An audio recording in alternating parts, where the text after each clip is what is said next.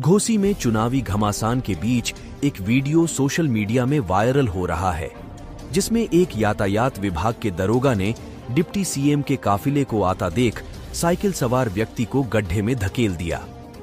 इस वीडियो को शेयर करते हुए सपा के राष्ट्रीय अध्यक्ष व पूर्व सीएम अखिलेश यादव ने भाजपा पर हमला बोला है। उन्होंने लिखा है कि उत्तर प्रदेश के उप मुख्यमंत्री जी के काफिले के आगे जनता का कोई महत्व नहीं है।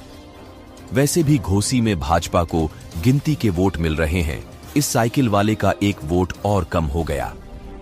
घोसी ने भाजपा की पराजय व महापतन को घोषित कर दिया है। ना सुना था।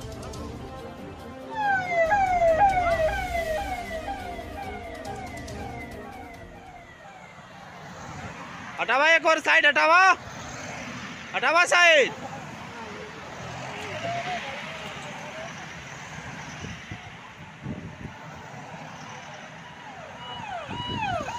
అంటే సరే